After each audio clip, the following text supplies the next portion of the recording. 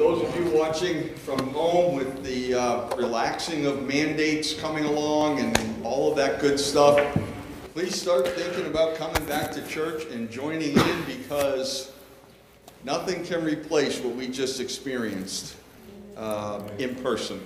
So uh, come on back. Jump in, the water's fine. wow, I'm telling you, I'm ready to preach, but I can't. Jody, were you clapping? No. Oh, okay.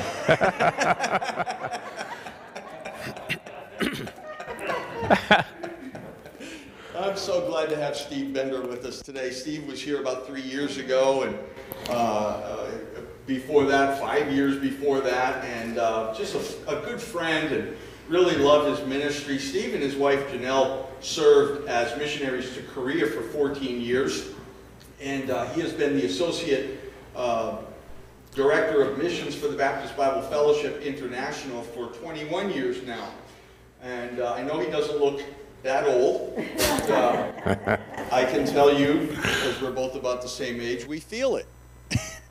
but uh, we've had a good time fellowshipping last night over dinner and um, just, just a real good time. Uh, just sorry we can't spend more time together. He's uh, here in town for just a short uh, period of time. So, Steve, I'm not going to take any more of your time. Come and preach the Word of God to us. All right. Okay? Love you, brother. Thank you. Love you too. Well, good morning. How's everybody doing today? You know it's going to be long when I bring my own drink, don't you? Did everyone get uh, a blue ribbon? I, have got some help. If you didn't get a blue ribbon, I, would like to, uh, Rachel, I believe it is, right? Is, has some. Raise your hand and she'll, she'll bring you one. I wanted to bring everybody a gift uh, since it's been three years since I was here, I wanted to bring you a gift. It's not the least that I could do, but pretty close to it. Uh, but so we're going to just keep your hands up and we'll get you a ribbon. Thank you, Rachel, for doing that. Maybe somebody could even help you do it. You know, that beautiful name of Jesus that we just sang about in a recent poll by George Barna, actually, it was published two years ago. That poll said that 47% of millennials, now let me help you to understand or remember what millennials are. We use that term flippantly a lot, but millennials are the age group from 25 to 40 years old, or millennials. There are about 71 million living in the United States today. the poll said that 47% of millennials Christian millennials, let me qualify that even further down 47% of Christian millennials believe that it is morally wrong to share your faith with someone of a different faith in hopes that they would trust your faith. So, what that means is that 47% of Christian millennials living today, and, and, I hate to categorize everyone, but that's the poll, that they believe that if I'm a Christian, it's wrong for me to share my faith with you if you're not a Christian in hopes that you will become a Christian. That's pretty sad, isn't it? That, and in fact, it's not just sad, it's very sobering for, for the church today. You know, working in missions, being a missionary in Korea, and now working with missionaries worldwide, I, I think about missions quite a bit and, and what God is doing and the need for missionaries. And, and we all understand the Great Commission as given to us by the Lord Jesus Christ, don't we? to go into all the world and preach the gospel to every creature. That's the command, that's the mission that God himself through his son Jesus sent us on is to go and tell people about Jesus and who he is and what he did and his death on the cross and that he certainly is the worthy lamb that deserves all honor and praise and glory and worship. And we ought to be sharing that faith and we understand that. But I'll tell you today the mission force those that are missionaries under the Baptist Bible Fellowship has declined in the last 20 years. We've seen that go down. There are other organizations that say, I will not name them, but one of them, uh, one of the biggest mission organizations, said that for the last 28 years, they have seen a decline in the missions force, while yet we've seen a rise in the population, correct? So our population continues to grow. Those that are going out to tell them about Christ is declining. We're in bad shape. And so the missions office of the Baptist Bible Fellowship, we've devised, uh, not really devised, we've just put together a program called Project 938. and there are some brochures on the uh, welcome desk in the back. Please feel free to take one. Project 938 is simply this it's uh, taken from Matthew chapter 9 and verse 38, where Jesus said to his disciples, He gave them this prayer request. You know, we take prayer requests and we expect others to pray for it. And Jesus said to his disciples, Hey, pray ye therefore the Lord of the harvest that he would put forth laborers into his harvest. I believe that we're seeing a time in our world today where we need more laborers in the harvest, not just as missionaries that'll go to foreign countries, but we need pastors that will, men and women, men, excuse me, men that will step up and say, God has called me and, and instituted them as pastors of a local church. We need men and women that will step up and say, hey, I'll teach a Sunday school class, I'll teach a discipleship class, I'll lead others, I'll do things. So we're praying praying for more labors. and I gave Pastor Kurt a, a, thumb drive with a lot of material on it that on October the 3rd of this year, the missions office is trying to get churches worldwide to join us in a concerted day of prayer that we would pray for more laborers into the harvest on Sunday, October the 3rd. And so that information will be coming. If you'd like one of these brochures, there's a lot of information about our mission office and, and QR codes that you can scan and read all about it. So that, that's enough of the, of the uh, advertisement. I wanted to talk to you this morning about about missions and, and how that we can be involved in missions and do more for the cause of Christ. And I appreciate being invited to your church once again to be able to share this with you. I, I came three years ago and I preached a message. what is your conviction about? Uh, about the Great Commission. What is your personal belief? And you remember, if some of you may remember, I buttoned my coat wrong and it looked kind of goofy. And I said, you know, we got to start on the right foundation, and, and that is that we fall and worship ourselves, the Lord Jesus Christ, and then we go out into all the world. I, I, I want to uh, remind you this morning does anybody know what this is? What is it? The enemy. The enemy. Okay, I, I know. I know that I'm in Dunkin' country, all right? I understand that. However, Starbucks is the number one coffee company worldwide. You know how they got that way? Well, in January of 2008, Charles or Howard Schultz was the CEO of Starbucks. He had retired uh, from the company. He was sitting back in his easy chair and he began to look around and he watched Starbucks company and he noticed something about them. He said in a statement, he said they had lost their soul in becoming the global giant. So in February of 2008, he came out of retirement. He said, and I quote, pouring espresso is an art, one that requires the barista to care about the quality of the beverage. If the barista only goes through the motions without passion, he or she will produce an inferior espresso. If one does not care, then Starbucks has lost the essence of what we set out to do almost 40 years ago.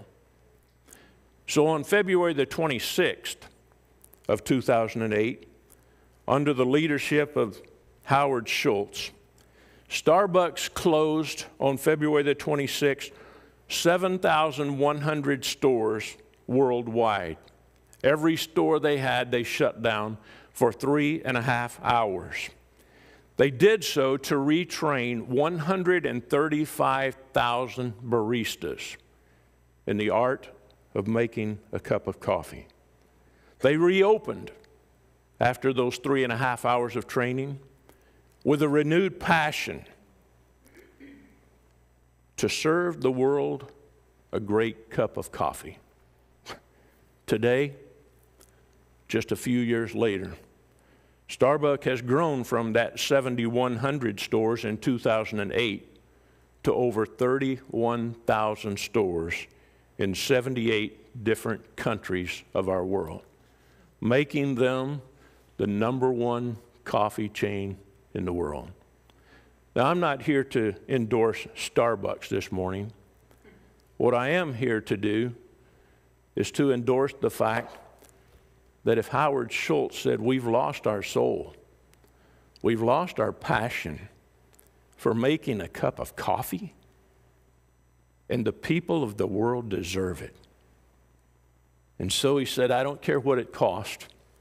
I'm going to shut down all 7,100 stores, and we're going to retrain every person, and we're going to instill in them the art of making a cup of coffee. And now they've grown to over 31,000 stores worldwide. I think, what would happen in God's church if, Brother Kurt, if we renewed our passion and said, wait a minute, our world is in dire need. We're in crisis. We're in a pandemic, and it's not from COVID 19. We're in a pandemic that people don't know Jesus Christ as their personal Savior. I was reminded this morning when I walked into your building and I walked in past the reception desk and I looked on the floor and it said one way. And I said, John 14, 6 when Jesus said, I am the one way. I am the way, the truth, and the life. No man cometh unto the Father but by me. You see, that's our mission, folks.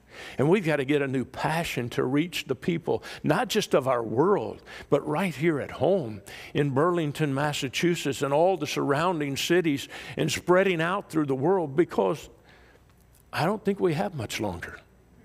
I, I don't believe we're going to be here Oh, a long time more. And I know I've heard that since I was a little boy growing up in Texas, but it's even more true today than it was then. Open your Bibles with me, if you would, to the book of Numbers, chapter 15.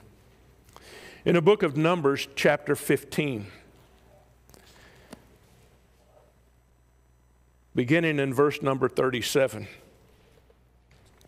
Numbers chapter 15 and verse 37. And the Lord spake unto Moses, saying, Speak unto the children of Israel, and bid them that they make in them in them fringes, make them fringes in the borders of their garments throughout their generations, and that they put upon the fringe of the borders a riband of blue. And it shall be unto you for a fringe, that you may look upon it and remember all the commandments of the Lord and do them and that you seek not after your own heart and your own eyes, after which you used to go a whoring, but you may remember and do all my commandments and be holy unto your God. You see, God said to the Moses, he said, Moses, my children, I've told them over and over the things to do, but they seem to be forgetting them. What I want you to tell my children to do is to take and take a ribbon of blue and put it in the hems of their garments, in their sleeves, and around the bottoms of their robes. That every time that they raise their arms or sit down and, and they see the bottoms of their, their garments, they see that ribbon of blue, that they're reminded, but not only are they reminded, but that they would do what I told them them to do. You ever, as a kid growing up or in years past, have you had somebody tell you, you know, uh, hey, I'm probably going to forget that? They said, well, tie a string around your finger. Has anybody ever, that, that old saying? Uh, some of us older folks remember that, but uh, I didn't mean to point you out. But, but that comes back from God told Moses, He said, Moses, my people are forgetful. And He said, I want you to tell them to put that hem in their garments, that ribbon of blue, so that every time they see it, they are reminded and they do what I told them to do. This morning, I want to remind you that God told us to go into all the world and preach the gospel to every creature. He told us to, to forget nobody, to go out because they need to know who Jesus Christ is. They need to know what He did, they need to know what He can do in their life and for eternity. And you and I have that responsibility. And I believe we need to renew that passion in our own hearts and lives and saying, we're not just here for us right now. We're not just here to be separated from the world and, and sit on our couches at home because of COVID or, or physically or socially distanced from everybody else. That's what the world would have you to believe. And I understand the need for that in the physical sense, but way too many Christians have implemented that in their spiritual lives. And we've got to get back that passion to talk to people about their eternity and where they're going to spend it, and that they have an opportunity through a choice to receive or reject Jesus Christ as their personal Savior. So that's what we are reminded, and that's what we ought to be doing. On May the 30th of 1792, William Carey was a missionary to India. He was considered to be the father of modern missions. And on May the 30th of 1792, he preached a sermon from Isaiah chapter 54 about reaching the lost of this world. In a private conversation with some of his closest friends immediately following the service, he, uh, Carey laid himself figuratively and literally on an altar in front of the building. And he said to those friends around him, He said, I will go down into the pits if you will hold the ropes. There, the Baptist Society for Propagating the Gospel Among the Heathen was formed. That mission was to be supported by personal and individual donations from people. And on June the 13th, just a year later, in 1793, William Carey left for India with his wife and his four children for 40 years of missionary service in India. Wow. What a story.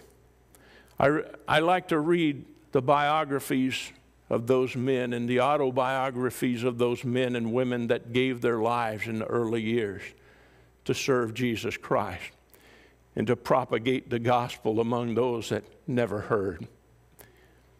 I think today, as we sing these songs, Holy, you are holy, Lord God Almighty.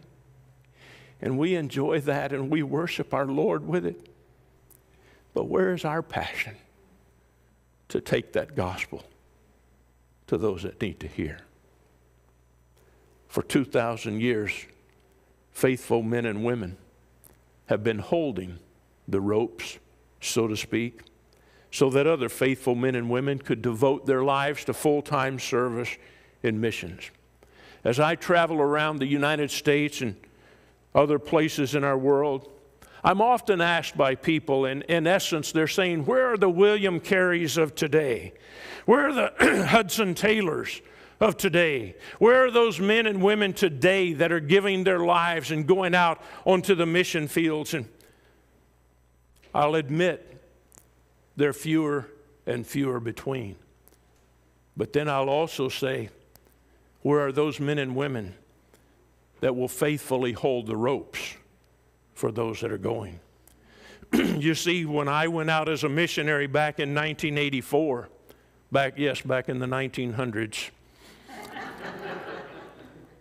I went out as a missionary and going from church to church, and we would present our ministry and ask people to pray for us and ask people to support us financially. And in those days, it was taking uh, an average of two years for missionaries to raise their support. Janelle and I prayed and we said, God, would you give us our support in eight months? Record time, not for anything other than we just needed and wanted to get to the mission field. And and God gave us that support in 10 months, and, and people began to hold the ropes for us, and, and we began to, to, to go, and, and we could go. And, but today it's taking our missionaries three and four years to raise enough support to go to the mission field.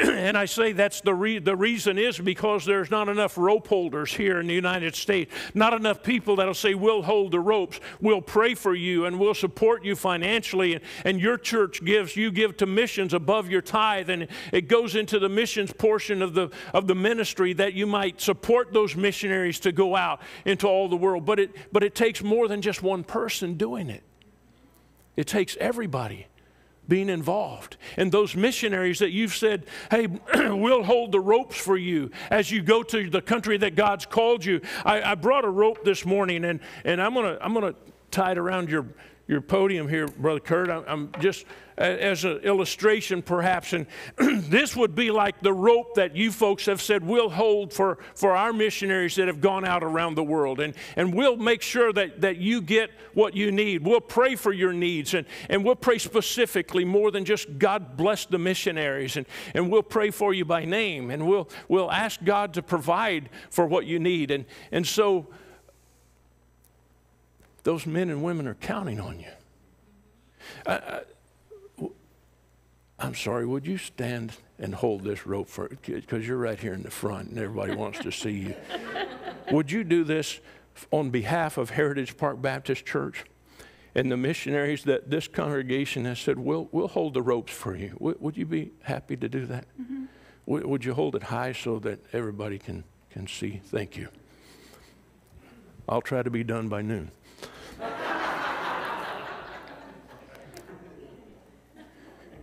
Hold the rope.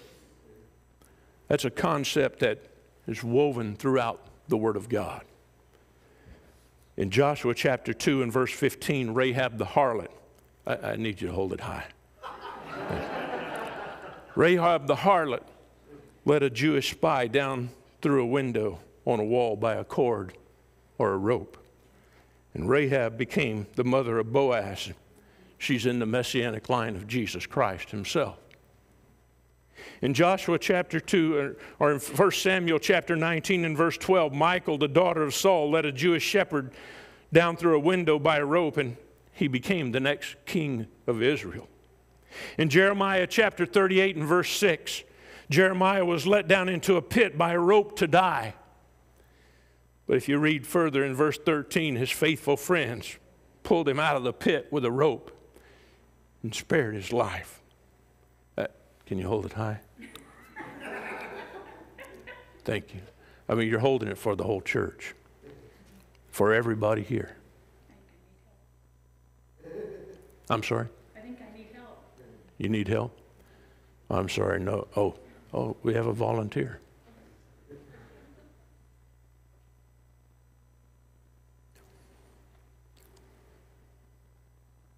Whenever you're done. Thank you. Hold the rope.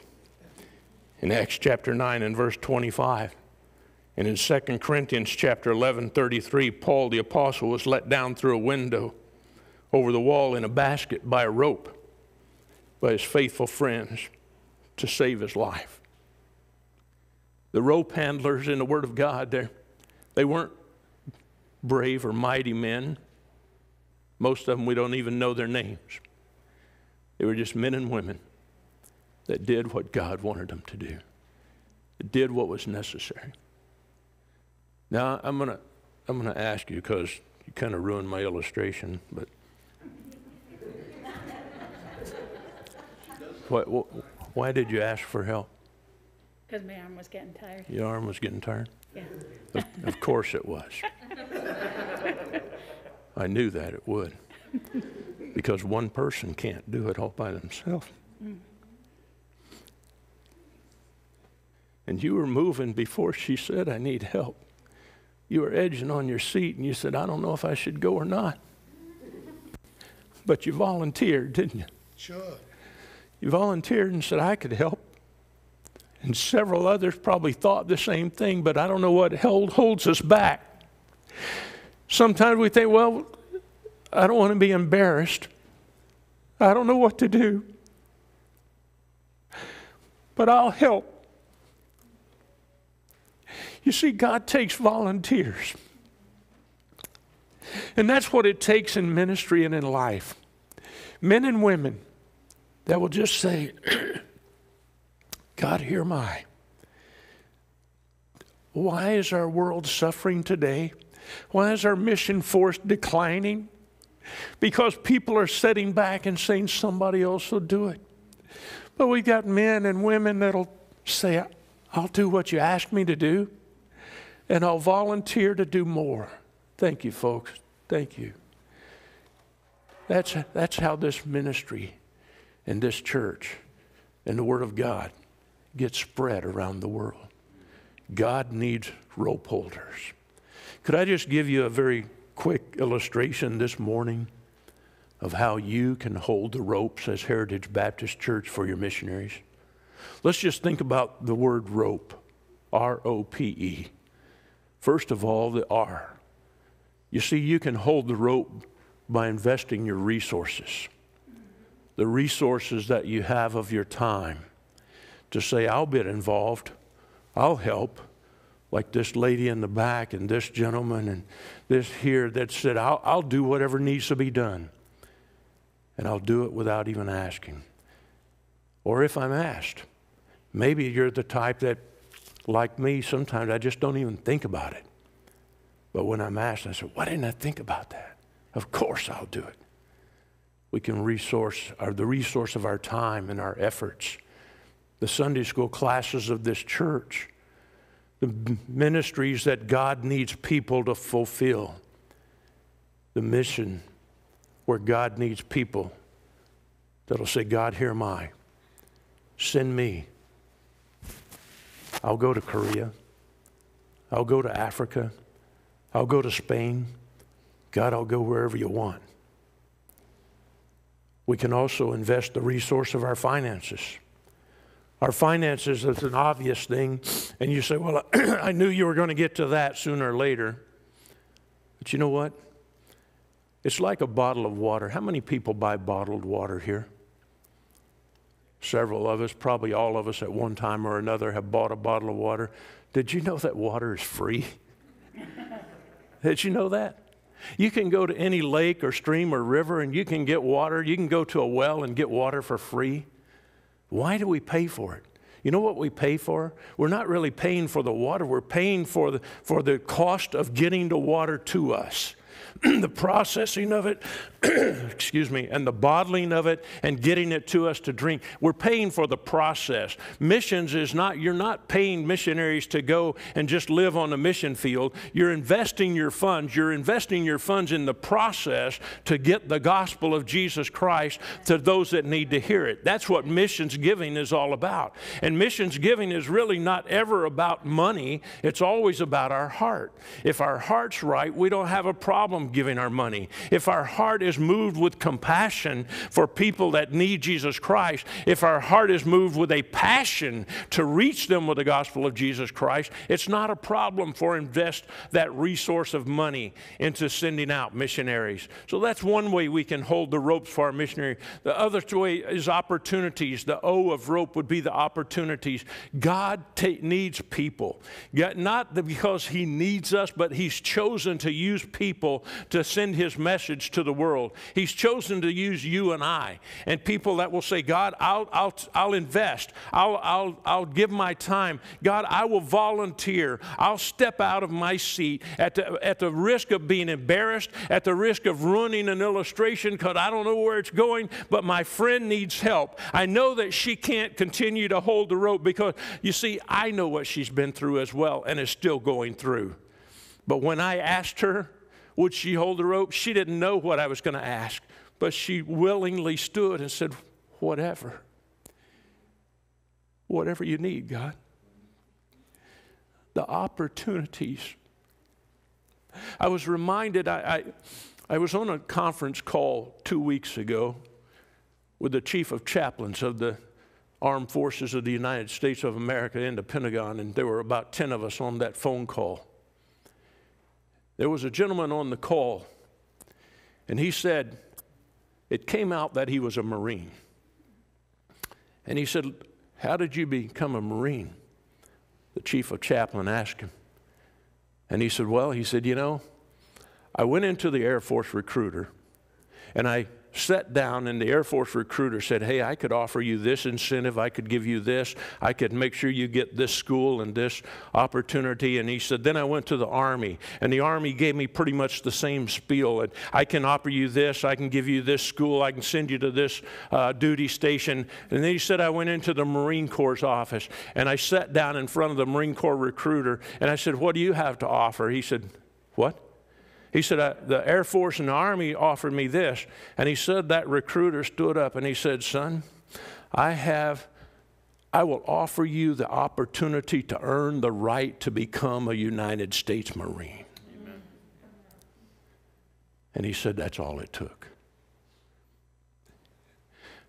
We live in this society today that everybody's looking for a handout for something. You know what God says? I think He wants people that'll say, God, I want to earn the right to be your servant. God, I want to earn the right to take your word, the most precious thing in the world, to those that need to hear it. We can hold the ropes by seizing the opportunities, by joining our missionaries on the mission field. The P of rope would stand for prayer. Missionaries need our prayer. I've preached on that particular topic here several years ago, praying for your missionaries, praying specifically.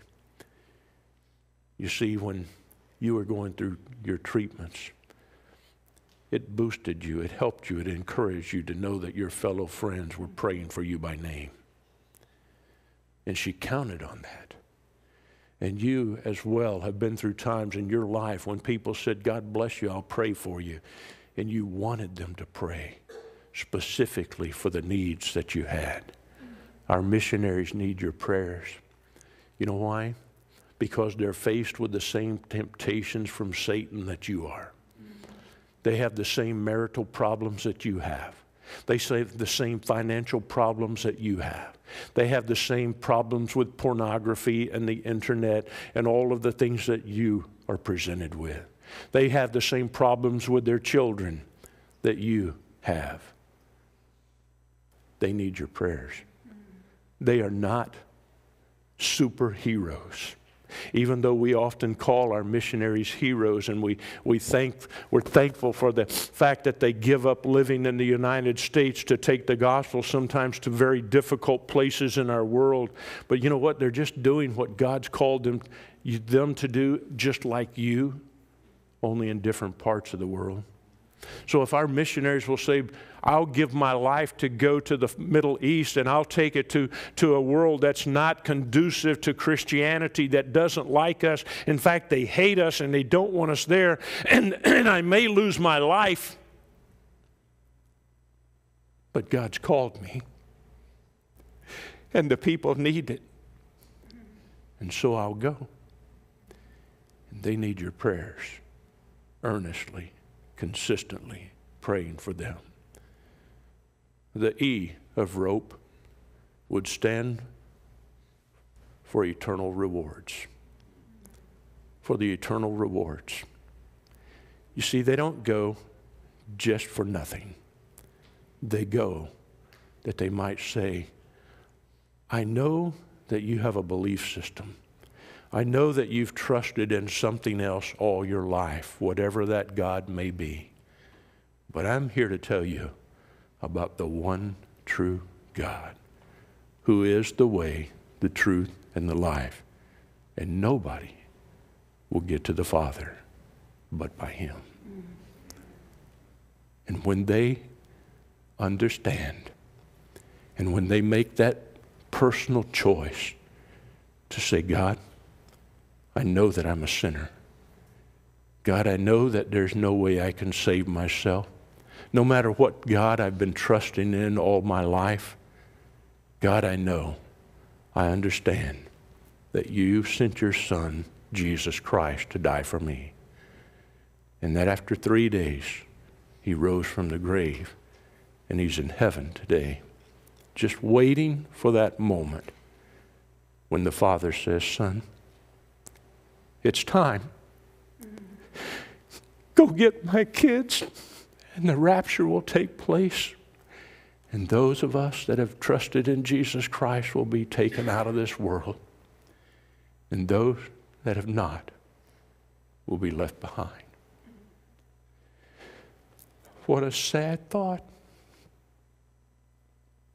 Think of your family that doesn't yet know Jesus Christ as their Savior. Think about your friends, your neighbors. Forget the people around the world you've never met. Forget about them. Just think about the ones that you could reach. And they will stand with you in eternity at the judgment seat. And they'll either say, Thank you. Thank you for telling me about Jesus Christ. Or they will say, Why did you not tell me? What stopped you? You knew Jesus Christ as your Savior, but you never told me.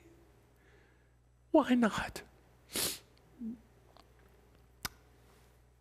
Howard Schultz said, It's important that we make a great cup of coffee because that's what people want. And they became the largest coffee company in the world. Jesus said, Forget what they want, give them what they need. Give them my name so that they might trust in me. Father, this morning, God, you know our hearts. Lord, speak to us, challenge us, and change us today, for we ask it in your name.